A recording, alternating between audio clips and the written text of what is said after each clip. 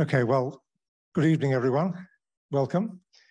Great pleasure tonight to welcome our speaker, Dr. Mathew Zacharias, who would be well known to many of you and to me, of course, uh, retired anaesthetist uh, from this hospital, very well known and very expert in the topic he's going to be talking about tonight, the influence of the Great War on the practice of anesthesia. Please welcome Mathew. Uh, thanks for coming. It, it's a terrible uh, day outside or evening outside. Thanks for coming in. Um, you might have some problem sometimes understanding me because I have a funny accent, as you might have guessed it. Um, I'm going to talk about the practice of anesthesia during the First World War. Uh, this painting is, by the way, by a surgeon called Dorothy Kay. She was an Irish surgeon, but she got married to a South African and went to Pretoria. She died a few years ago. She has done a series of paintings about operation theaters over the years. Some of them are very good. Okay. Yeah, um, I got a lot of references from various places, um, uh, particularly Lancet. It was very useful, and the local libraries, and of course, these people, they are my favorite. Yeah, there is a conflict of interest. I hate wars. And I despise particularly those people who tell us that wars are essential to sort out things. It isn't. Having said that, why did I choose to talk about World War One or about war? The reason is as a high school student and a university student, in, I, I'm from India, of course, we had the option to join paramilitary training. I had few years of training. We learned everything about uh, how, to, how to fight a war, about weapons, theory of war, camps, all those things which ordinary army people would do. I joined it because it was fun. So I developed interest in about war-related things right from the beginning. And of course, due to some reason, I ended up working in various conflict zones around the world for quite a number of years. I am I've been an anesthetist well over 50 years. And ever since I was a um, trainee in India, I was involved with conflict areas and uh, been in the middle of a couple of wars and a lot of post-war scenarios. And of course, I have done the same type of anesthetic as it was used in World War One. You don't see very many people who, who can't do that anymore. Uh, this presentation is basically a very general sum up of what has been happening there, but particularly pertaining to the British Expeditionary Forces and the ANZACs. And I will go through some of the people who are who contributed towards development of anesthesia, shock, oxygen therapy, and management of pain during that period. I'll start with the, by uh, reading a letter from an English chaplain from the front in France. It was in 1916. I spent most of my time giving anesthesia. Remember, he was a chaplain. It was a wire cup with a gauze. You had to hold it over the man's nose and mouth and drop the anesthetic on it carefully, keeping an eye on the patient. One day I got a kernel of enormous size and I couldn't get him under. To my horror, the fellow stopped breathing. Then he suddenly took a deep, sudden deep breath. As soon as the operation began, he sank and died on the table. The surgeon commented, I expected him to die because the physique was not up to it. That, that was the state when the war started, or the beginning of the war. Now, let me take 48 years for, forward to that particular chaplain's letter, 48 years forwards. That was in uh, 1964, 1st of June. I'm from the state of Kerala in South India, and 1st of June is very unique that every year the southwest monsoon starts on that particular day. Maybe the last few years it is delayed by a day or two, but it always comes on the 1st of June. And torrential rain for a couple of months. That is exactly the day I started my third year posting as a medical student in the hospital. It was a very old, uh, it was a new medical school, but we didn't have anything. So we joined in an old hospital. It was, I was so unlucky that I was posted with a professor of surgery uh, on my first day and asked to go to the operating theater. Anybody who is a medical, who has been a medical student would know that to be with a professor surgery on the first day is not an easy thing at all.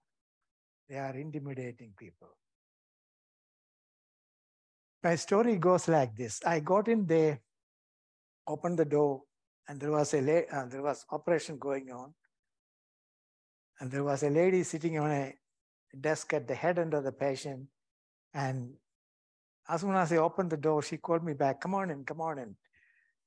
And uh, she got up from the, from the stool and handed me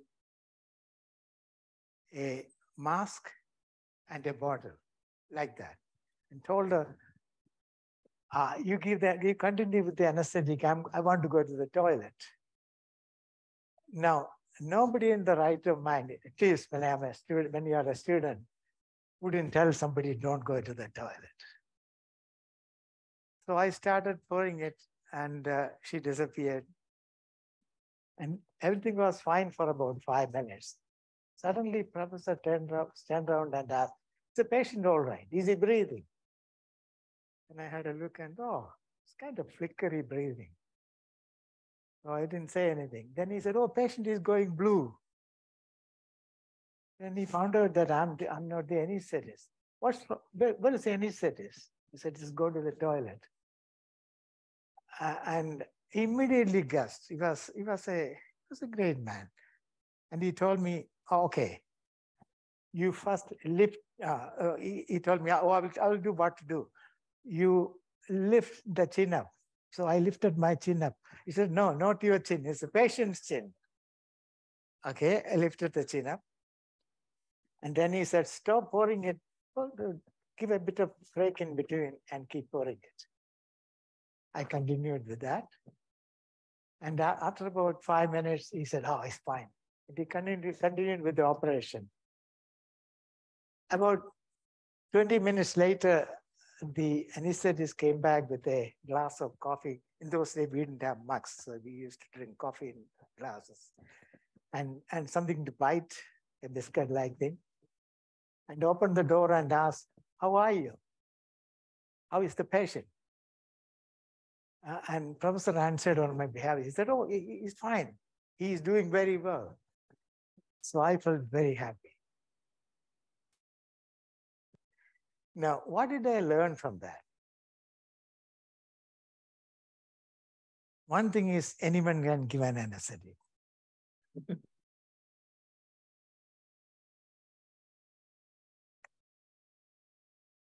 Other thing is lifting the chin in an unconscious patient is very useful. Simple thing.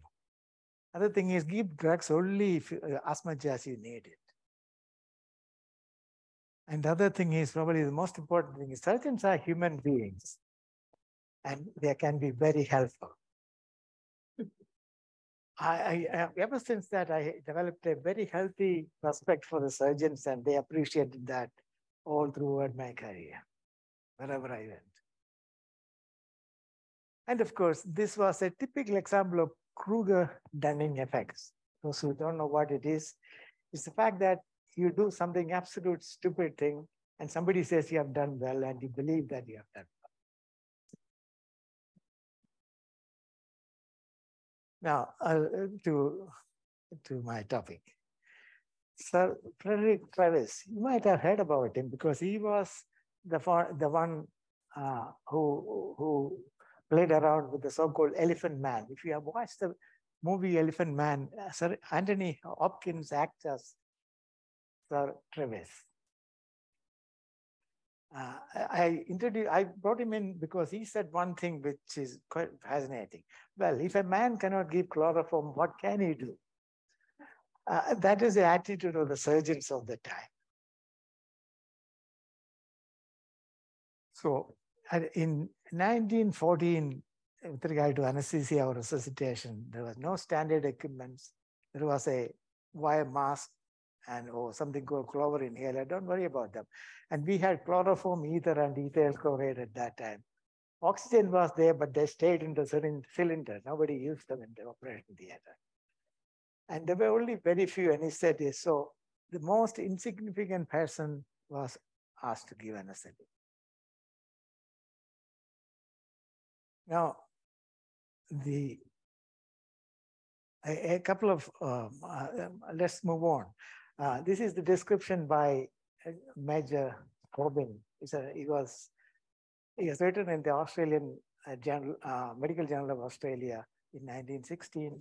He describes the he was a he was a doctor. He describes the Gallipoli advancement, uh, the going to Gallipoli for fighting.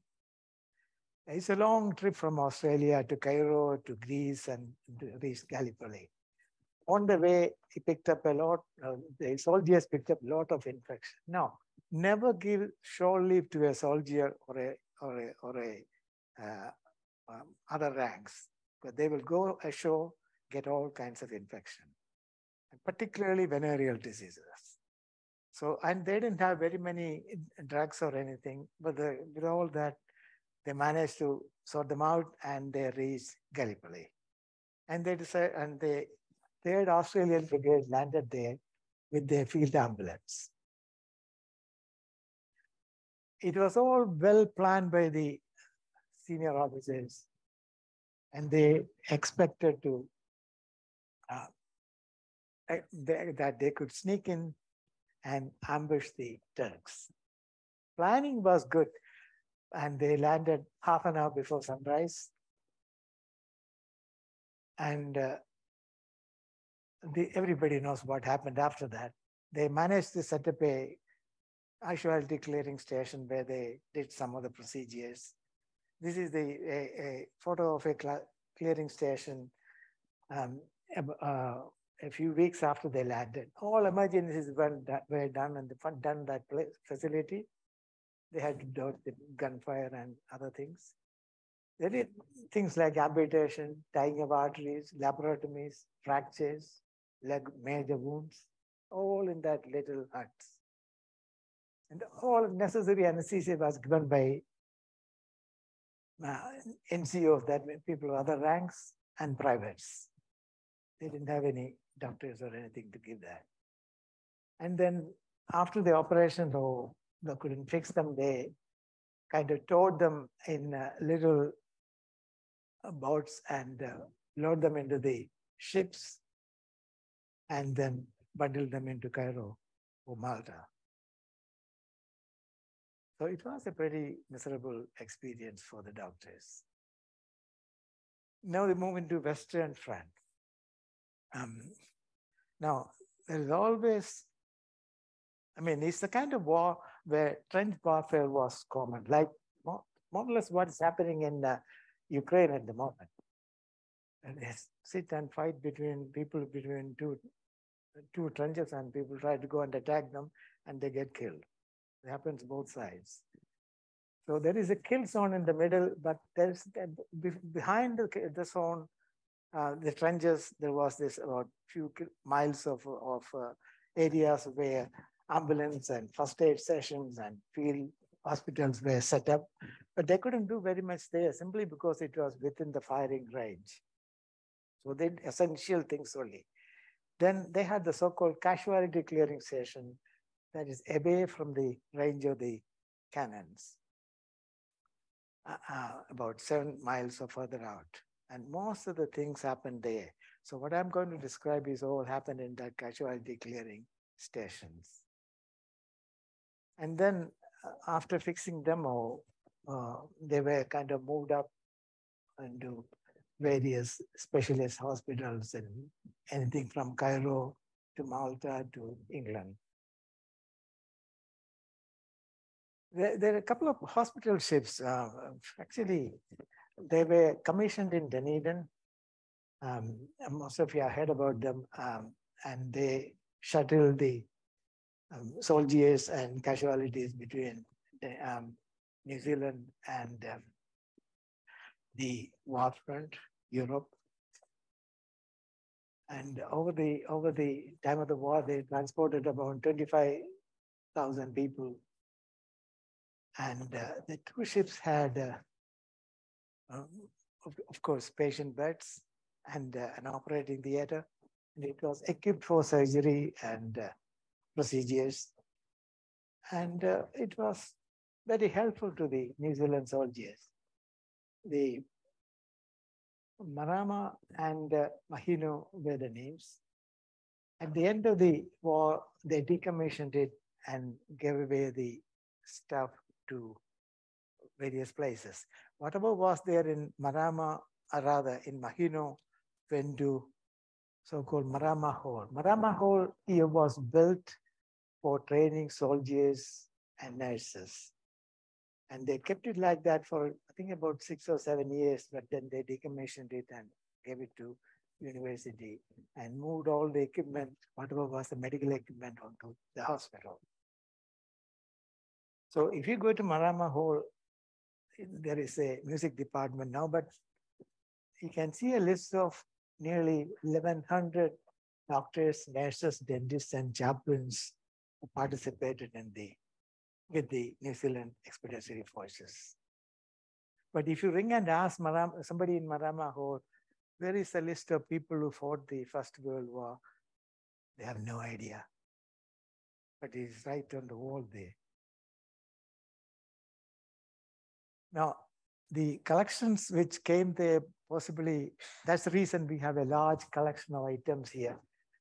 A lot of items are there in the Ritchie room upstairs in fact, we have one of the best displays in any hospitals in Australasia. Uh, a lot of people try to do and organize it. I also joined in and uh, um, I managed to get somebody to help me to put all of it into eHive. Um, and it is there if you want to see what we have. The items are in the Ritchie Hall, or rather Ritchie room upstairs in the hospital. And I was, I'm not sure what will happen to it after the hospital shifts.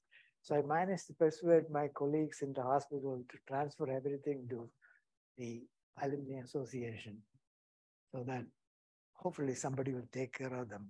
We have some very unique items there. It's not only in those displays, there are cupboards above that and underneath full of old stuff. Hopefully, after my time, somebody will look after it. Um, casualty clearing stations were very busy. This is, for example, clearing station 36, somewhere in Somme. They, in about four months, they did 17,000 such cases, the epic cases, and about 700 deaths. So they were quite busy. Don't worry about all this. Um, there are a lot of drugs and other things, but that is important. The anesthetist had you had to use mouth gags and mouth probes and tongue forceps. The reason is that the oral airway, as some of you have seen it, you put it there and try and maintain an airway in an unconscious patient, was not available to them. So they had to force the mouth open and, put, and you put a probe in and pull the tongue out with the tongue forceps. Must have been pretty cruel. So casualty clearing station um, was managed basically by the nurses. The nurses were did a, quite a lot of work in uh, in, in those stations. Uh, um, they're called Roses of No Man's Land because they had the Red Cross there. There's a brilliant book by Lyn Macdonald. She she's no more. She's an English writer. She writes a lot of stories, uh, details about the various wars and it's a book worth reading. It, it is there in uh, in uh, Hocken, and and the description like uh, two surgeons were there in one of these stations. That's usual amount available, maybe a third person. Um, and they, they ran about four to six operation tables to go from one to the other. Less qualified people, of course, did uh, structures, dressings, anesthetizing, and all, all those kind of things. Officially, look at the account, anesthesia was given by medics between 1914 and 1916, but that's not true. It was done by anybody who is around. And then specialist anesthetists were, so-called specialist anesthetists were brought in by 1916, and nurses were trained, and they joined in as anesthetists in, in 1918. So no, you, you have more, many of you have probably seen the the talking movies. I come from an old era, so we had talkies, and usually the old films had a, you had to change the reel in between. So they change the reel. So while they do that, there is a break and a music. There's a rose that grows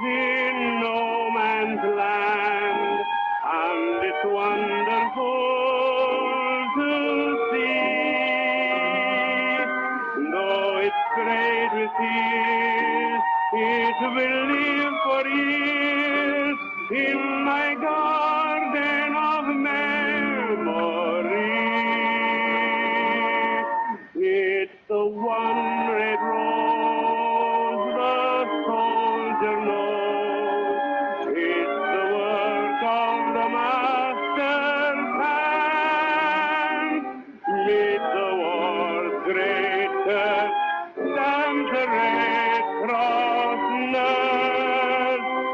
She's rose of no man's land. Okay. You hear me now? Okay. This is uh, the contraption used for um, giving ether. I must say, I've done thousands of cases like this in India. India didn't have enough of anything. So we had to do with, go with whatever was available. This is very cheap. When I, I trained, I worked in India for five years before I came out of India after five years of practice there, and we had to use hell of a lot of these cases, thousands virtually. So what you do is you put a gauze on it and pour the anesthetic and put it over the face. It works wonderfully well if you are experienced, if you are capable of doing it, but we don't use it anymore.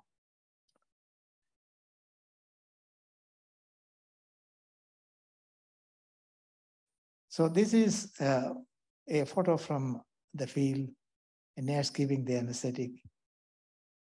The, the drugs were ethyl chloride, ether, or chloroform.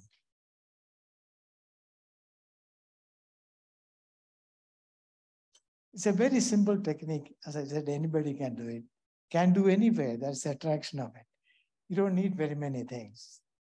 And it's remarkably safe. For example, um, if you try and work out what amount of oxygen you give to the patient because you have uh, more um, the the vapor vapor you add on to that. So from normal 20% of oxygen in the air, maybe it might be as low as 12%. Somebody worked it out uh, that it is around 12% oxygen under the mask. But even that is quite good because if you look at the partial pressure of oxygen, it is perfectly all right. It's about here in an oxygen dissociation curve. So it isn't bad at all. Uh, so it is safe. And there is a study by somebody called Malby done in Nepal. It's an observational study published in Canadian Journal of Anesthesia in 1986.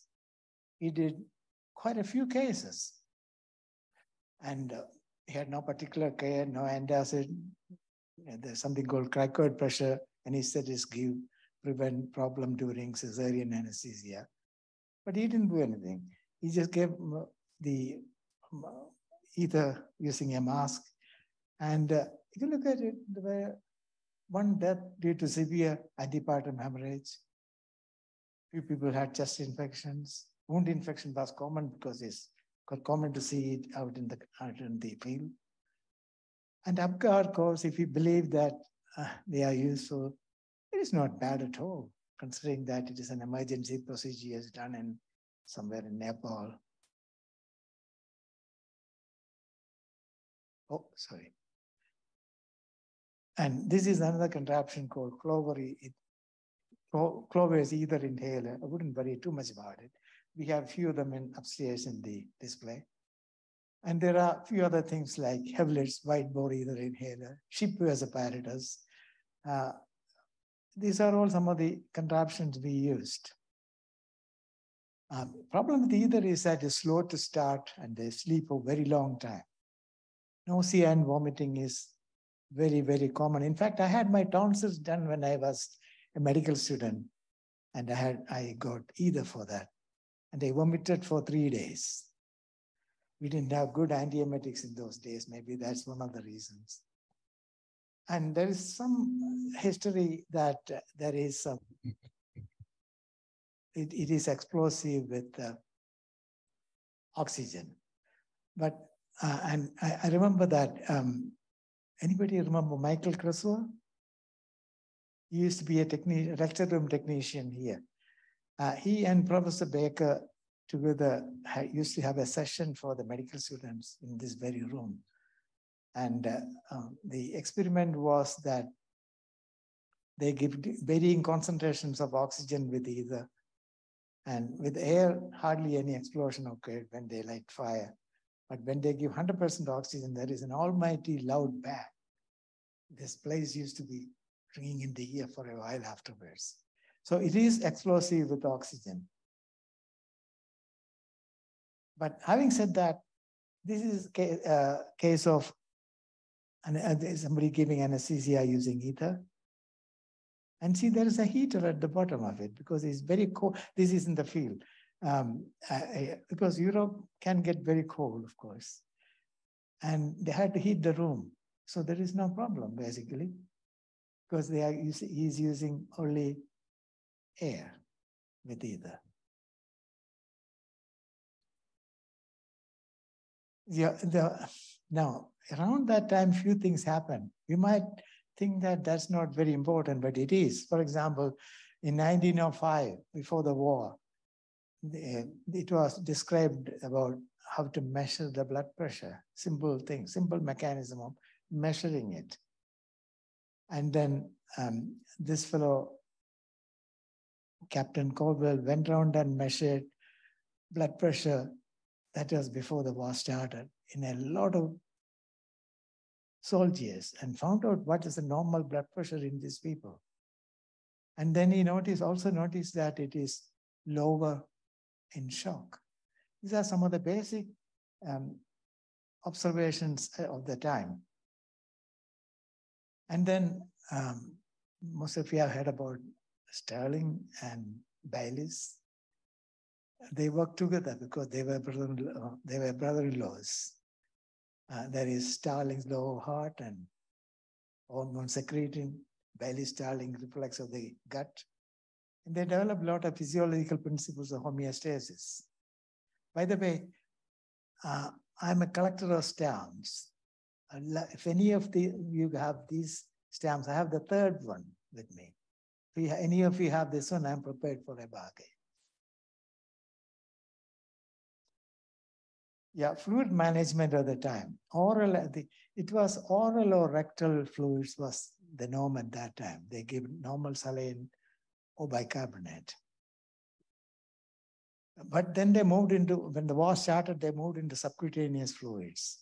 Uh, the result was that it produces an enormous swelling size of a football. They, they used to give it under the axilla. Um, and used to be a huge big swelling and slowly it disappeared. But then they found out that he could give it intravenously, but intravenous injection in those days was almost a surgical procedure, like cutting down into a vein. Surgeons, only surgeons could do that. But then they figured out that they could put in a needle and keep it there. So saline intravenously became popular 1916. then they start using hypertonic saline for shock. Um, then, um, as I mentioned earlier, Starling described oncotic and hydrostatic pressures.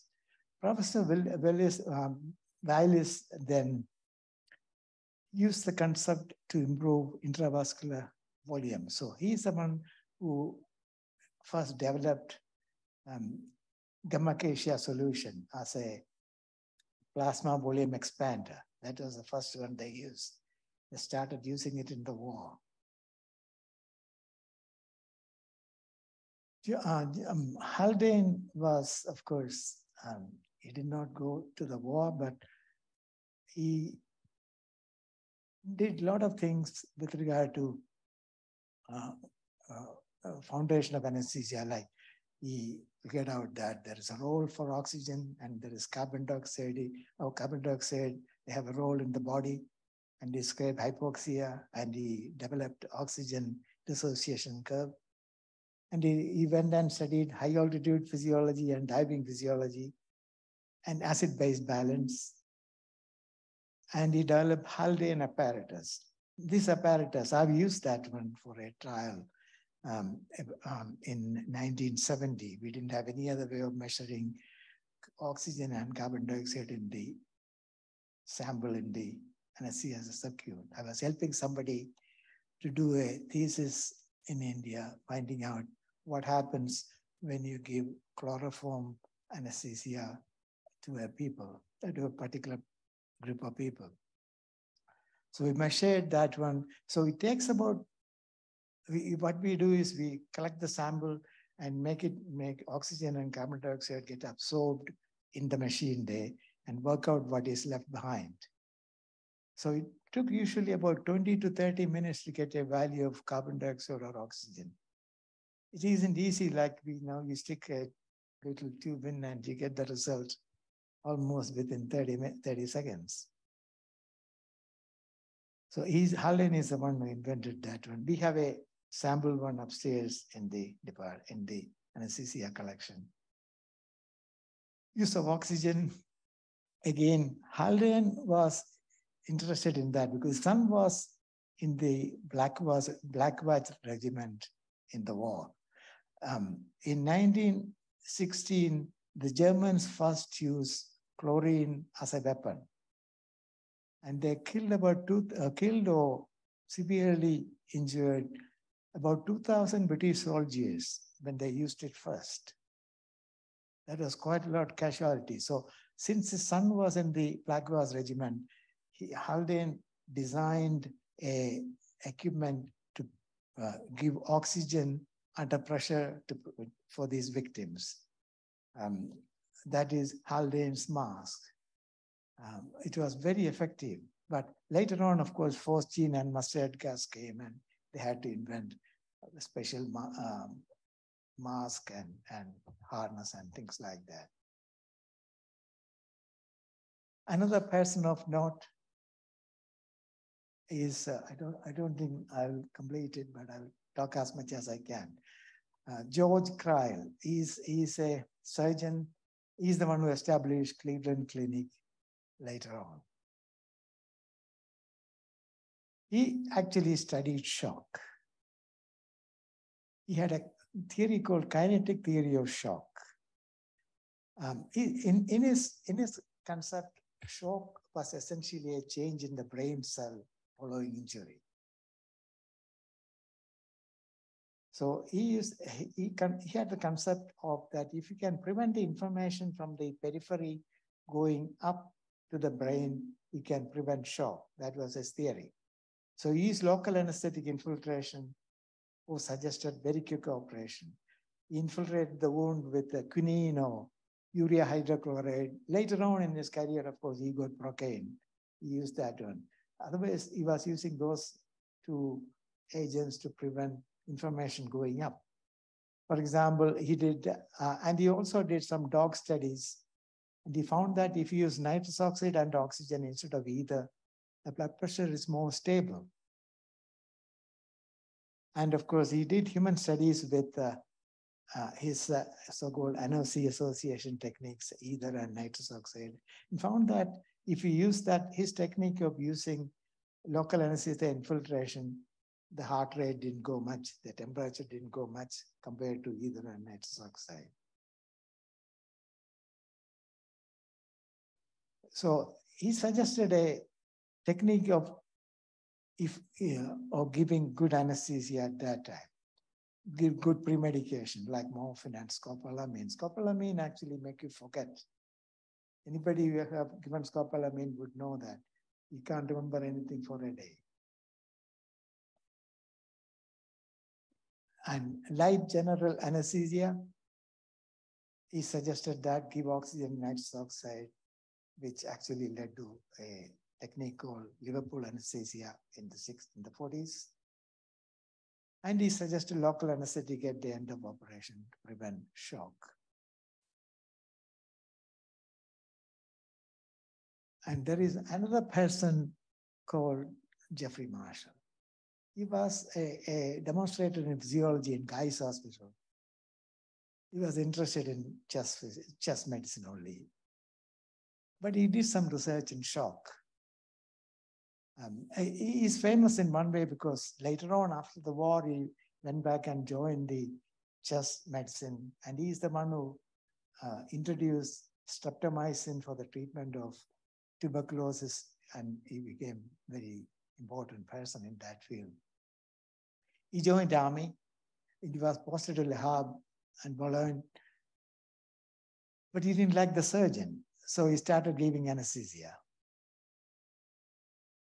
So then I, he wanted to go to the field. Then they said, no, no, you can't go uh, because you're a good anesthetist. Stay here. Finally, he managed to go to uh, near the war uh, because he was put in charge of a barge which went Le Havre to Boulogne and back, going up and carrying, uh, uh, bringing all the injured soldiers back and then going back. Uh, he, the, he describes the barge there. He played around in the barge for about a year.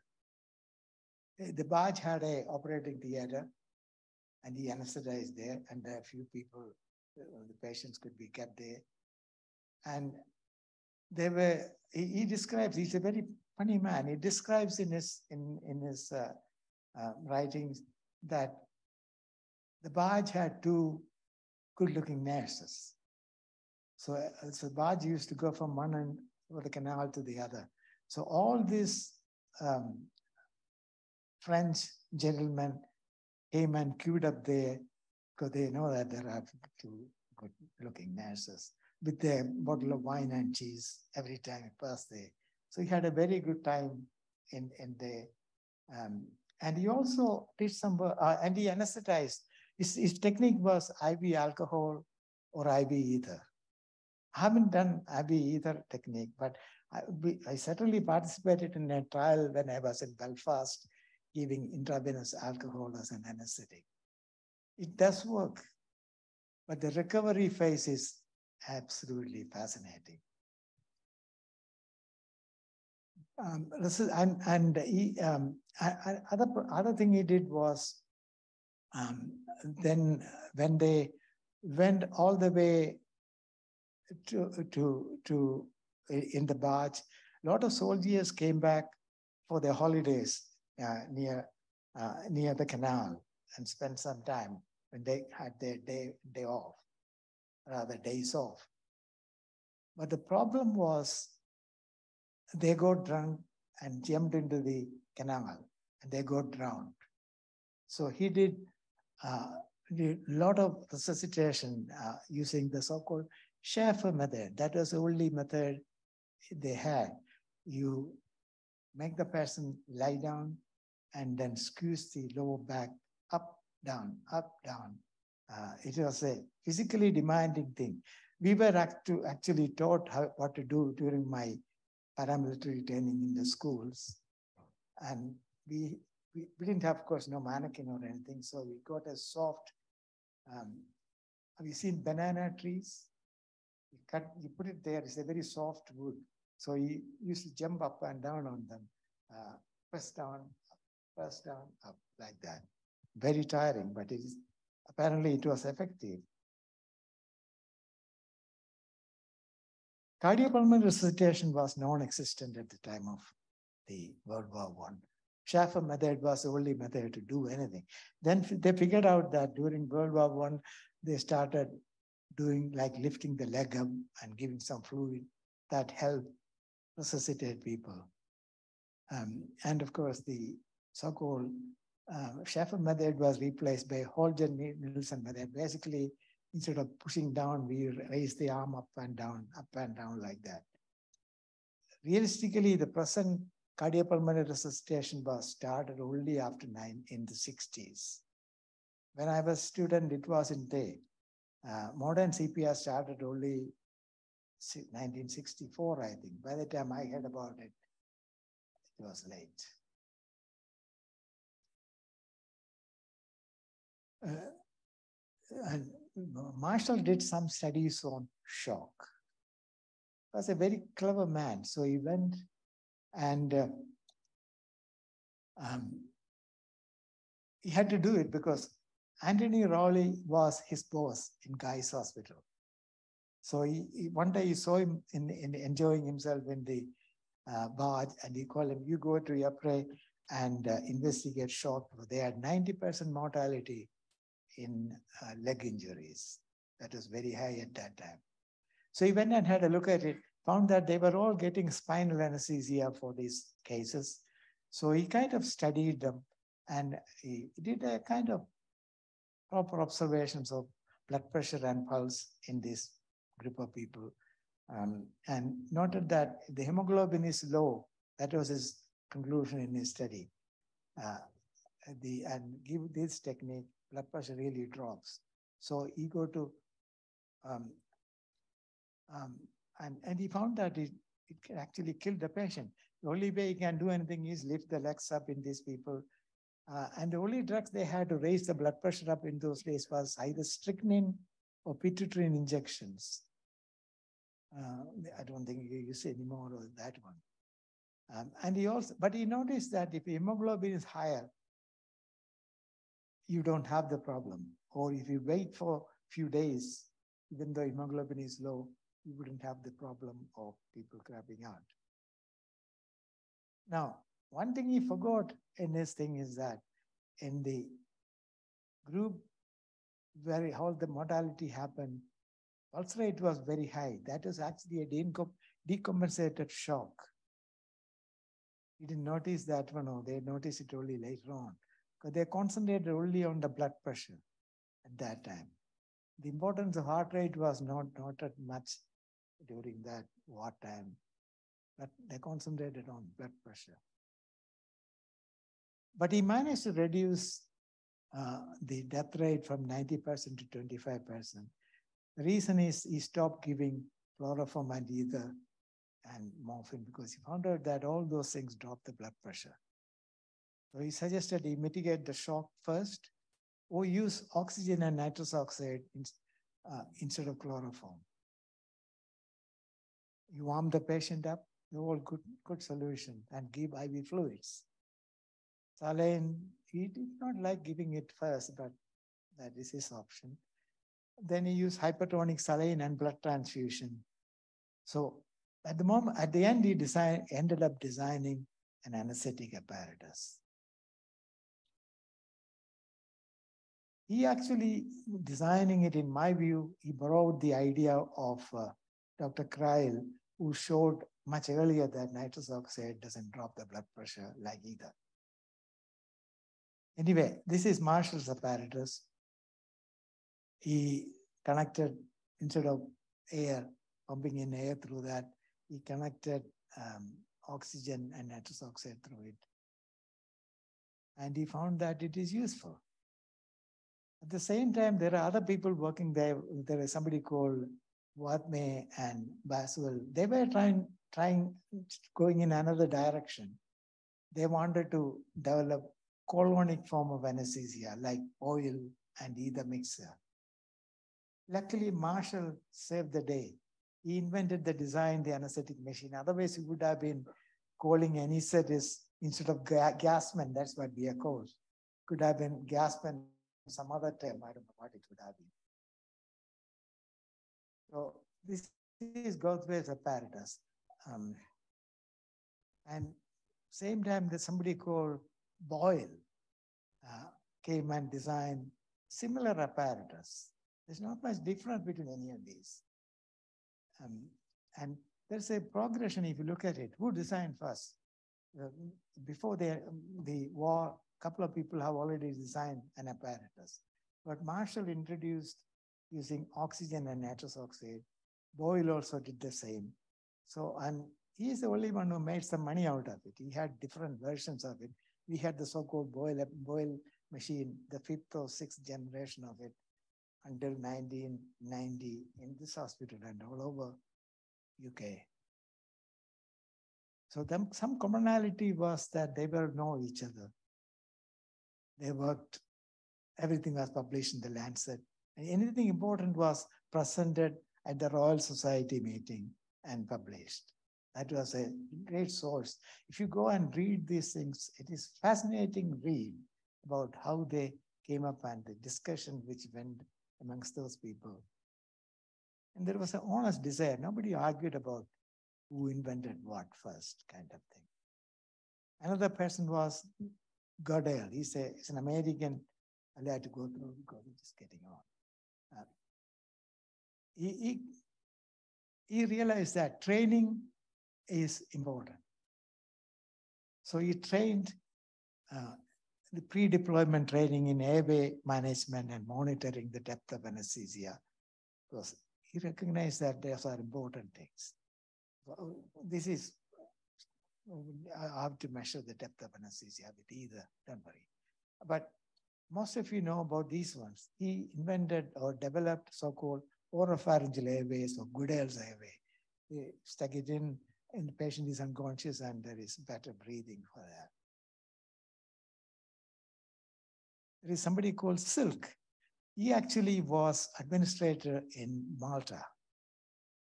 Uh, he is the first one to discuss depth under anesthesia yes, because he had a chance of dealing with a large number of patients undergoing anesthesia. He's the first one who came up with the figure that in experienced hands, you get one in 2000 mortality. That was in 1917, which is um, it, nowadays it is one in 50,000 or 100,000 or something like that. Uh, but he also noticed that a lot of death happened with chloroform. But, but he thought it was due to impurities, but basically chloroform produces cardiac arrhythmias, especially when the breathing is impaired in any way because of carbon dioxide retention. So, and, and Colonel Silk was the first one to introduce anesthetic records. Otherwise, he used to write anesthesia, either like that. But he produced a reasonable chart there. Yeah, no talk is complete without mentioning this fellow. He, is uh, um, um, uh, Harold Gillies is from, he worked here obviously. And, and this is a photo I got him participating in French Open before the war. No wonder he didn't win. It's a lousy golf shot. Look at it.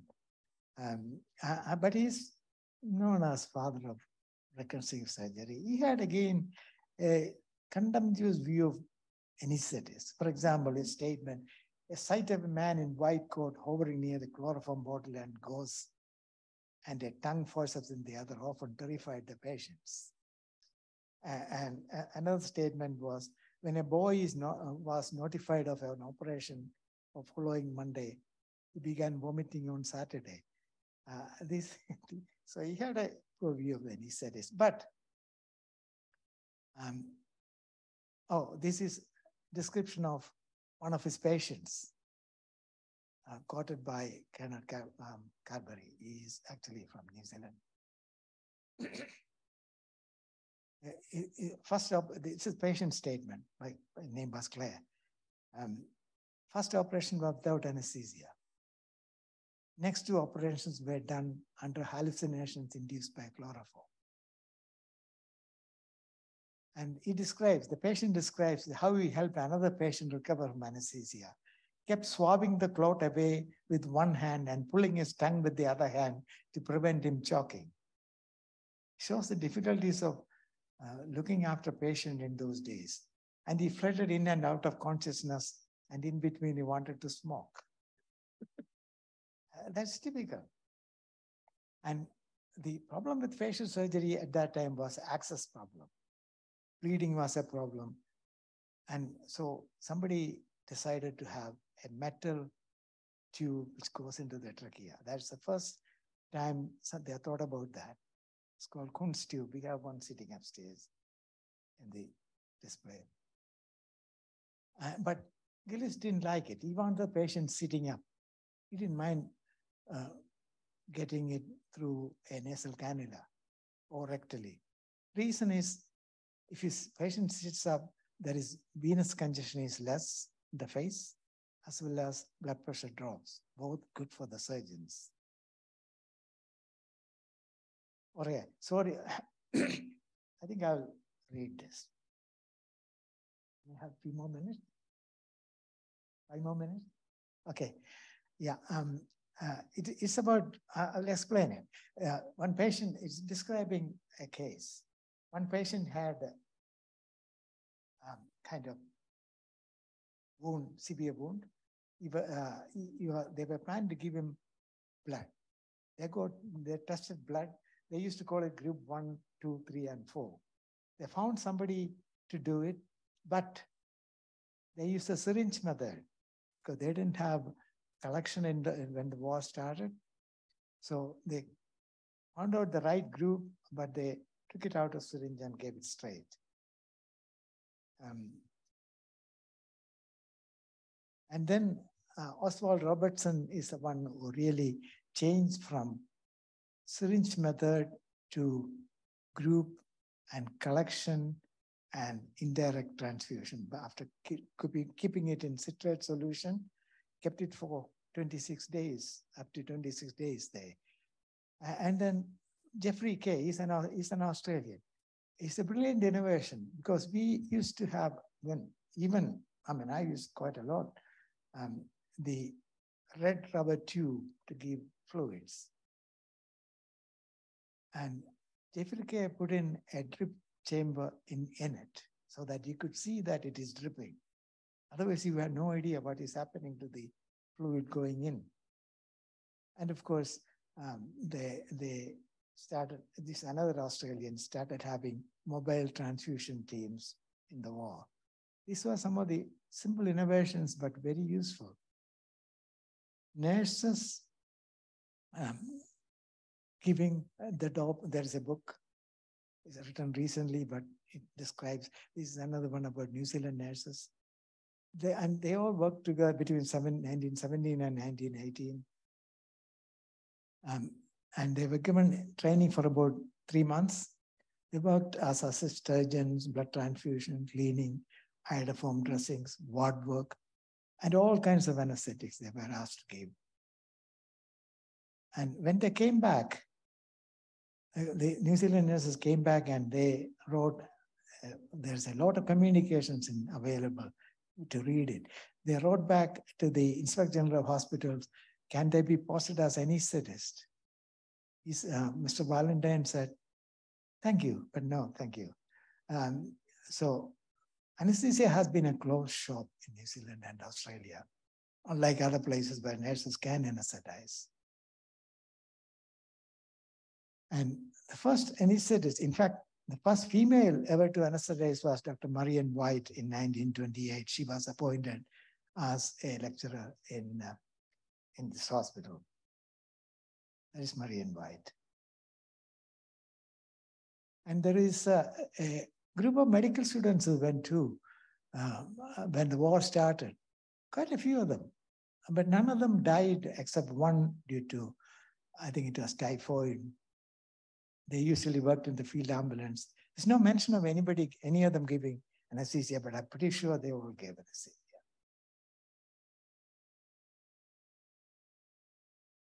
I think I'll stop it here. Uh, I was going to talk about pain, but stop it here. Uh, can I end up with the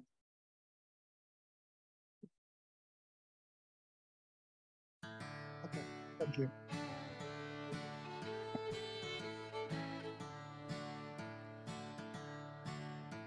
Once a jolly swagman camped by a billabong. Thank you, Mathew. the shade of a Questions? But as Mathew, when proper training for uh, the specialty of anesthesia begin in the style of registrar uh, training as we know it now? Roughly. With I have no idea.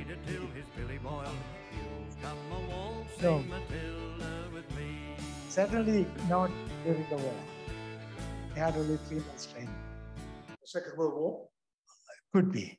Uh, I, I know. I, I don't. I don't know. I'm, I'm ignorant. Thank you. Another question, yes.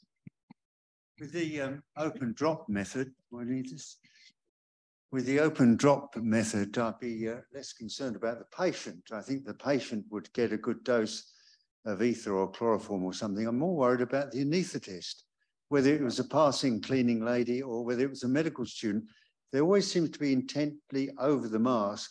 They must have got a quite a dose themselves, didn't they? Did they not pass out halfway through the operation? Um, we used to anesthetize, anesthetize from eight o'clock in the morning till one or two in the afternoon, ether throughout.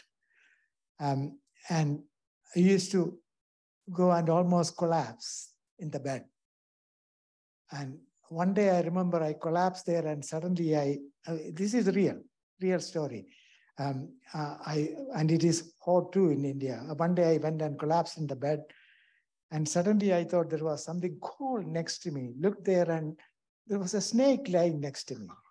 Uh, that is nothing to do with the anesthesia, but you don't even notice what is happening there. You just go and lie in bed.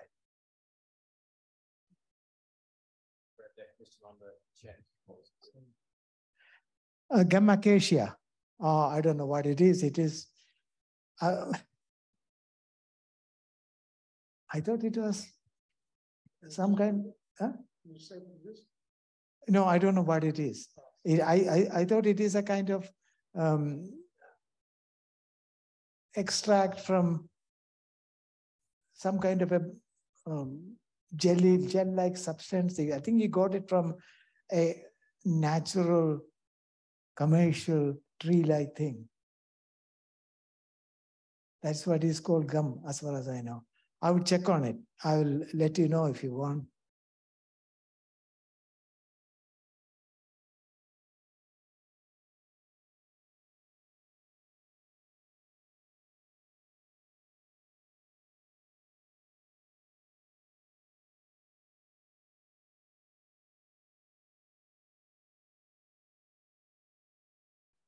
Uh, George Davis, a historian, Dr. Zacharias.